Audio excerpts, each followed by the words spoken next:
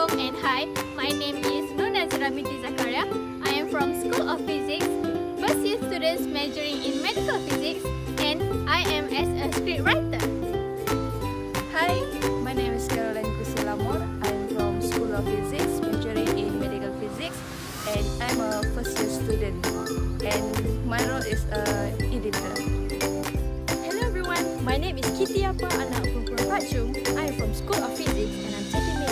And I'm as a presenter.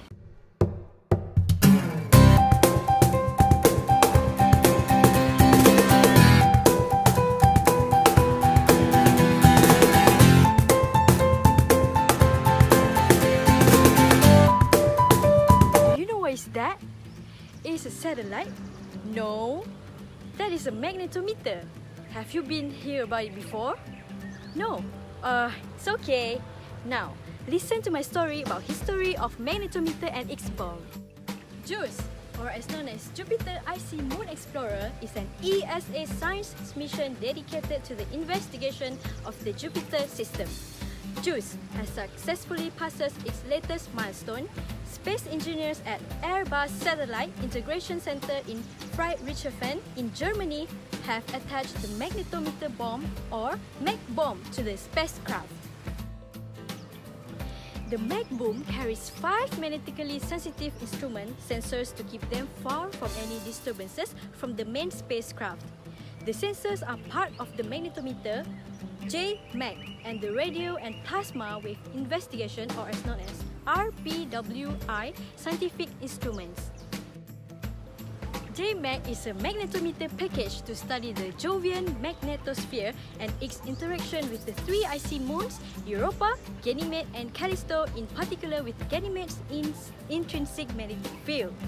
The RPWI instrument will investigate the radio emissions and plasma environments of Jupiter and its icy moons.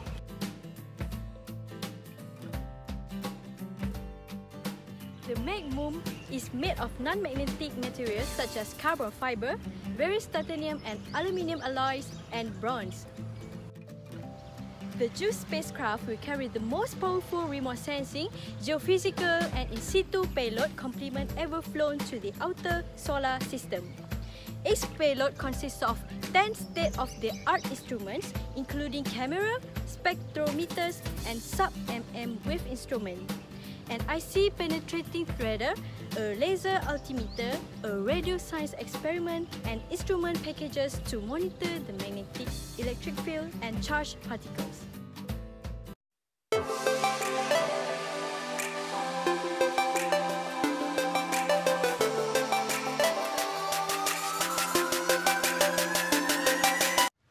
Enough about the history.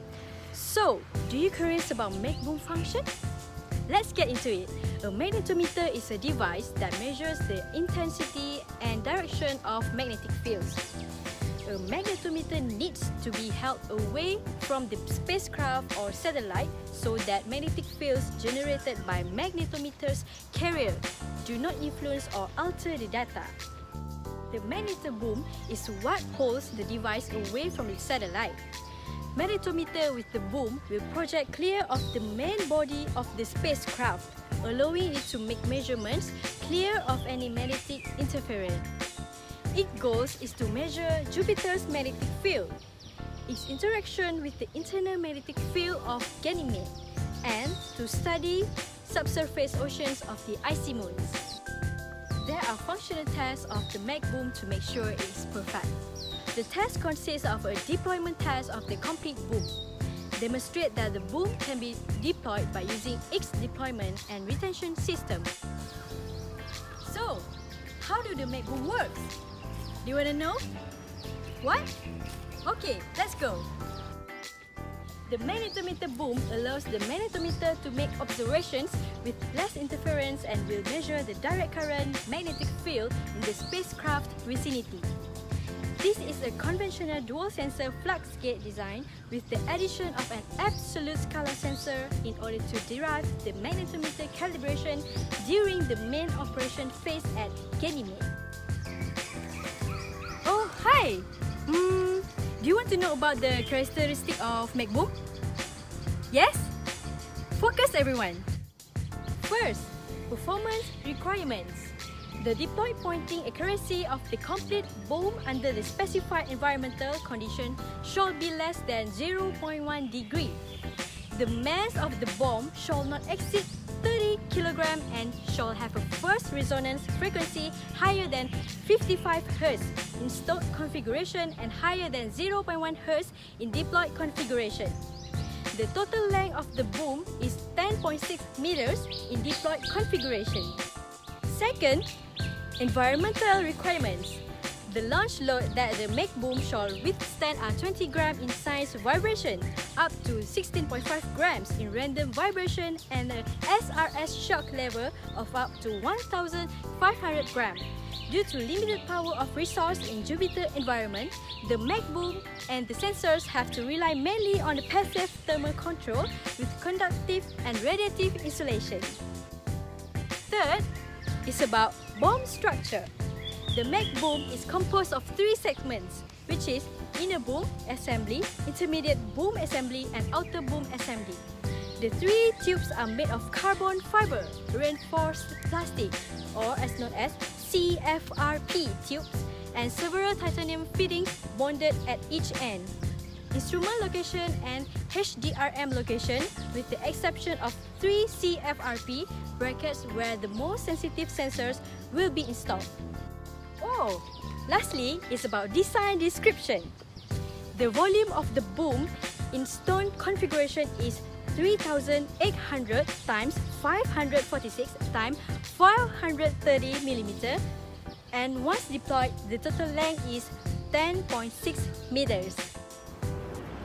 Do you know that magnetometer has their own advantage and disadvantage? The advantage of magnetometer are it can be used throughout the orbit with the sun side or dark side. It consumes low power and it offers wide magnetic field range of measurement. Hmm. Throughout all the advantage, we still have the drawback. The disadvantage of magnetometer are it does not provide much precision, it cannot be used with magnetorquers, and mounting of chip-based magnetometer on the board is critical. The field effects of transformers or relays must be taken into account. Low voltage and low current in the circuit trace can create magnetic field sufficient enough to disturb a chip. Have you satisfied after hear about it? But not least, we can conclude that the size of this boom along with the exceptional environmental conditions needed for this mission such as magnetic cleanliness, thermal conditions, radiation and mass requirements, all of the materials and components such as the viscous damper, separation nuts, microswitches and MLI were defined early on to reduce the chance of making magnetic cleanliness in the vicinity of the sensors that was not suitable. Given the very sensitive sensors on board magnetic corrosion during the machining of the metallic pieces was also a point of concern. The boom has undergone a rigorous qualification process that has validated the design's ability to meet the mission's specifications. Thank you!